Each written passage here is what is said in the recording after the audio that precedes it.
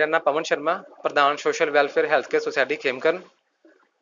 ਜਿਹੜੀ ਮੈਂ civil hospital ਵਿੱਚ ਡਿਊਟੀ ਦੇ ਰਿਹਾ, ਉਹ ਸਾਡੀ, ਮੇਰੀ ਕੋਲ ਸੈਂਟਰ ਜਿਹੜਾ ਕੋਵਿਡ ਦਾ, ਉਹਦੇ ਵਿੱਚ ਲੱਗੀ ਹੋਈ ਹੈ ਜਿਹਦੇ ਵਿੱਚ ਟੋਟਲੀ ਕੋਵਿਡ ਜਿਹੜੇ ਪੋਜ਼ਿਟਿਵ ਕੇਸ ਹੁੰਦੇ ਆ, ਉਹਦੇ ਰਿਗਾਰਡਿੰਗ ਪੂਰੀ ਇਨਫੋਰਮੇਸ਼ਨ ਮੈਂ ਹੀ ਦੇਣਾ ਹਰ ਇੱਕ ਨੂੰ।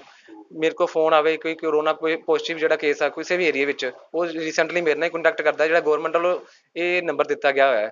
ਇਹਦੇ ਵਿੱਚ ਸਾਰੀਆਂ ਸੁਵਿਧਾਵਾਂ ਹੈਗੀਆਂ ਜਿਵੇਂ ਕਿਸੇ ਨੂੰ ਰਾਸ਼ਨ ਦੀ ਪ੍ਰੋਬਲਮ ਆ ਰਹੀ ਆ, ਜਾਂ ਕਿਸੇ ਨੇ ਸੀ ਪਾਸ ਕਰਫਿਊ ਪਾਸ ਜਿਹੜਾ ਹੁੰਦਾ ਹੈ, ਉਹਦੇ ਰਿਗਾਰਡਿੰਗ ਕੋਈ ਵੀ ਇਨਫੋਰਮੇਸ਼ਨ ਐਨੀ ਇਨਫੋਰਮੇਸ਼ਨ ਸਾਰੀ ਇਨਫੋਰਮੇਸ਼ਨ ਸਾਡੇ ਡਿਪਾਰਟਮੈਂਟ ਵਿੱਚ ਹੀ ਮੈਂ ਹਰ ਇੱਕ ਨੂੰ ਦੇਣਾਗਾ। ਹਾਂ, ਇਸ ਤੋਂ ਐਕਸਟਰਾ ਟਾਈਮ ਜਿਹੜਾ ਮੇਰਾ ਹੈਗਾ ਹੈ, ਉਹ ਸਮਾਜ ਸੇਵਾ, ਜਿਹੜੀ ਮੇਰੀ ਸ਼ੁਰੂ ਤੋਂ ਹੀ ਮੇਰਾ ਸ਼ੌਂਕ ਸੀ 15 ਸਾਲ ਹੋ ਗਏ ਨੇ ਮੈਨੂੰ, ਆਪਣੀ ਸਮਾਜ ਸੇਵਾ ਵਿੱਚ ਕੰਮ ਕਰਦੇ ਹੋਏ।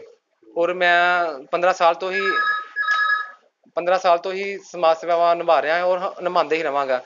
ਜਿਵੇਂ ਕਿ ਮੈਂ ਨਸ਼ੇ ਦੇ ਖਿਲਾਫ ਬਹੁਤ ਜ਼ਿਆਦਾ ਸੈਮੀਨਾਰ ਲਗਾਏ ਆ, ਐਡਮਿਟ ਵੀ ਕਰਾਇਆ ਲੋਕਾਂ ਨੂੰ ਔਰ ਲੋਕਾਂ ਨੂੰ ਅਵੇਅਰਨੈਸ ਦਿੱਤੀ ਆ ਨਸ਼ੇ ਦੇ ਖਿਲਾਫ ਕਿ ਜਿਹੜੇ ਨਸ਼ੇ ਲੋਕ ਕਰ ਰਹੇ ਆ, ਉਹਨਾਂ ਨੂੰ ਇਹ ਸਮਝਾਇਆ ਕਿ ਨਸ਼ਾ ਇੱਕ ਬਿਮਾਰੀ ਆ, ਇਸ ਕੋੜ ਤੋਂ ਆਪਾਂ ਦੂਰ ਰਹੀਏ। ਉਹਨਾਂ ਮਾਤਾ ਪਿਤਾ ਨੂੰ ਗਾਈਡ ਕਰਕੇ ਆਇਆ ਮੈਂ। ਹਰ ਇੱਕ ਮਾਤਾ ਪਿਤਾ ਨੂੰ ਗਾਈਡ ਕਰੀਦਾ ਕਿ ਆਪਣੇ ਬੱਚ- ਜਿਹੜਾ ਬੱਚਾ ਨਸ਼ਾ ਕਰ ਗਿਆ, ਉਹਨਾਂ ਨੂੰ ਬਿਲਕੁਲ ਗਾਲੀ ਗਲੋਚ ਨਾ ਕਰੋ, ਉਹਨਾਂ ਨਾਲ ਪਿਆਰ ਕਰੋ, ਉਹਨੂੰ ਫਰੈਂਡਲੀ ਉਹਨਾਂ ਨਾਲ ਰਵੋ। ਉਹਨਾਂ ਨੂੰ ਐਵੇਂ ਦਾ ਫੀਲ ਨਾ ਹੋਵੇ ਜਿਹੜਾ ਨਸ਼ਾ ਕਰ ਰਿਹਾ, ਉਹਨੂੰ ਬਿਲਕੁਲ ਨਹੀਂ ਪਤਾ ਹੁੰਦਾ ਕਿ ਮੈਂ ਕਿਸ ਬਿਮਾਰੀ ਵਿੱਚ ਫਸ ਚੁੱਕਾ ਹਾਂ। ਇਹ ਇੱਕ ਬਿਮਾਰੀ ਆ। ਸੋ ਮੈਂ ਹਰ ਇੱਕ ਨੂੰ ਇਹੀ ਅਪੀਲ ਕਰਦਾ ਹਾਂ ਕਿ ਉਹਨਾਂ ਨੂੰ ਫਰੈਂਡਲੀ ਪਿਆਰ ਕਰਨ ਤਾਂ ਜੋ ਉਹ ਨਸ਼ਾ ਆਪਣਾ ਛੱਡ ਸਕੇ। ਸੋ ਮੇਰੇ ਨਾਲ ਜਿਹੜੇ ਸੰਯੋਗ ਜਿਹੜੇ ਸਾਡੇ ਦੇ ਰਹੇ ਆ, ਉਹ ਸਾਡੇ ਪੰਜਾਬ ਦੇ ਏਡੀਜੀਪੀ ਹਰਪ੍ਰੀਤ ਸਿੱਧੂ ਜੀ ਐਸਟੀਓ ਪੰਜਾਬ, ਜਿਹੜੇ ਬਹੁਤ ਹੀ ਅੱਛੇ ਆਫੀਸਰ ਨੇ ਮੇਰੀ ਲਾਈਫ ਦੇ ਵਿੱਚ, ਜਿਨ੍ਹਾਂ ਨੇ ਬਹੁਤ ਹੀ ਹੈਲਪ ਕੀਤੀ ਹੈ ਮੇਰੀ।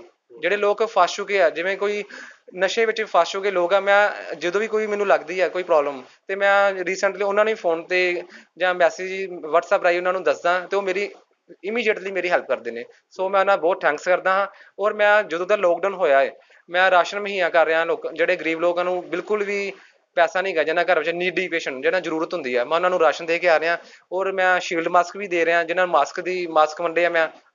ਫਿਰ ਸੈਨਾਟਾਈਜ਼ਰ ਹਰ ਇੱਕ ਜਿਹੜੀ ਨੀਡ ਆ, ਮੈਂ ਉਹ ਉਹ ਮੁਹੱਈਆ ਕਰਾ ਰਿਹਾ, ਆਪਣੇ ਪੋਕਟ ਦੇ ਵਿੱਚੋਂ।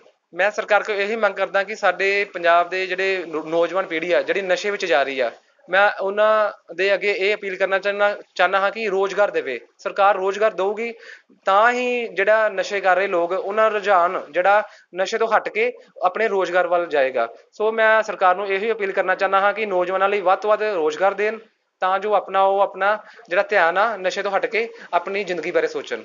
ਕੋਵਿਡ ਕੋਵਿਡ ਦੇ ਰਿਲੇਟਡ ਮੈਂ ਇਹ ਕਹਿਣਾ ਚਾਹੁੰਦਾ ਹਾਂ ਹਾਂ ਜਿਹੜੀ ਕਰੋਨਾ ਕੋਵਿਡ ਜਿਹੜਾ ਬਹੁਤ ਹੀ ਵੱਡੀ ਮਹਾਮਾਰੀ ਫੈਲ ਚੁੱਕੀ ਆ ਸਾਰੇ ਦੇਸ਼ਾਂ ਵਿੱਚ ਇਹਦਾ ਬਚਾਅ ਆਪਾਂ ਤਾਂ ਹੀ ਕਰ ਸਕਦੇ ਹਾਂ ਹਰ ਟਾਈਮ ਆਫਟਰ 20 ਸੈਕਿੰਡ ਸਾਨੂੰ ਹੈਂਡ ਵਾਸ਼ ਕਰਨੇ ਚਾਹੀਦੇ ਆ ਅੱਧੇ ਘੰਟੇ ਬਾਅਦ ਜਾਂ 1 ਘੰਟੇ ਬਾਅਦ ਆਪਾਂ ਨੂੰ ਹੈਂਡ ਵਾਸ਼ ਕਰਨੇ ਚਾਹੀਦੇ ਆ। ਔਰ ਸੋਸ਼ਲ ਡਿਸਟੈਂਸ ਜਿਹੜਾ ਸਭ ਤੋਂ ਮੇਨ ਸੋਸ਼ਲ ਡਿਸਟੈਂਸ ਰੱਖ ਕੇ ਹੀ ਰਹਿਣਾ ਚਾਹੀਦਾ ਹੈ ਤੇ ਮਾਸਕ ਹਮੇਸ਼ਾ ਹੀ ਪਾ ਕੇ ਰੱਖਣਾ ਚਾਹੀਦਾ ਹੈ। ਕਿਤੇ ਵੀ ਬਾਹਰ ਜਾਂਦੇ ਹੋ, ਅੰਦਰ ਆਂਦੇ ਮਾਸਕ ਪਹਿਨ ਕੇ ਜਾਓ ਔਰ ਸੋਸ਼ਲ ਡਿਸਟੈਂਸ ਦਾ ਖਾਸ ਕਰਕੇ ਧਿਆਨ ਦੇਵੋ ਤਾਂ ਹੀ ਆਪਣੇ, ਆਪਾਂ ਆਪਣੇ ਆਪ ਨੂੰ, ਆਪਣੀ ਫੈਮਿਲੀ ਨੂੰ ਤੇ ਆਪਣੇ ਸਮਾਜ ਨੂੰ ਬਚਾ ਸਕਦੇ ਹਾਂ।